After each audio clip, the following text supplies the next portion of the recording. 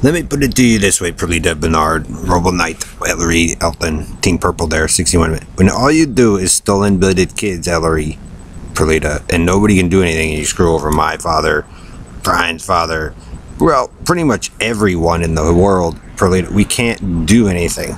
And that's all Bernard does, and Harry does, because they want to take over a computer system. That's why people have damage on them that does not belong to them.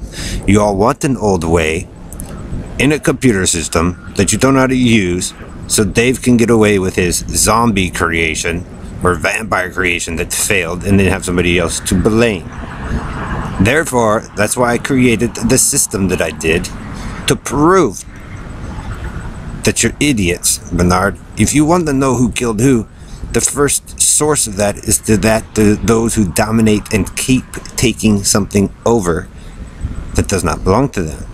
I'm not talking about the police or the military or the firefighters. I'm talking about the groups of you who are just insane.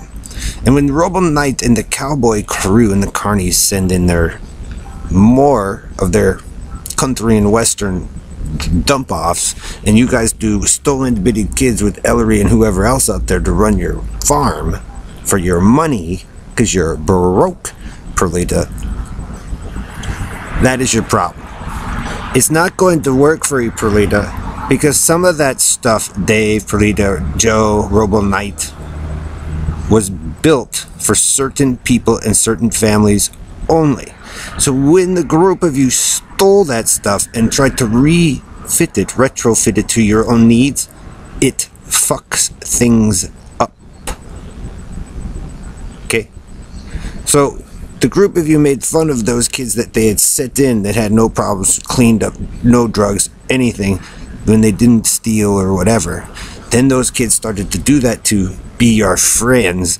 And then Perlita, you guys do the clockwork orange thing, try to become the other side and become the law. And then Bernard says, We proved it after we fucked you over. It means, Bernard, people who do that are the killers and you're the psychopaths. That's why you got all this mess going on here because, well, like I said, you guys like Jerry Springer type shit, and some of us don't.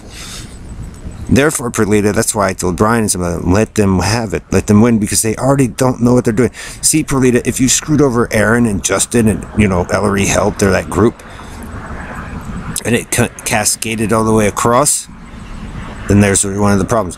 If Dave is you guys' foremost, you know, and he's cloning up in there because of Bernard's favoritism or whatnot, it means that's a problem because you guys don't clean up your mess. So I let you live in your shit mess. Because if that's all you're going to do is grift and scam with the Negroes, Perlita, you deserve what's going to come to you, and it's going to get 10 times worse no matter what Harry or Bernard prove.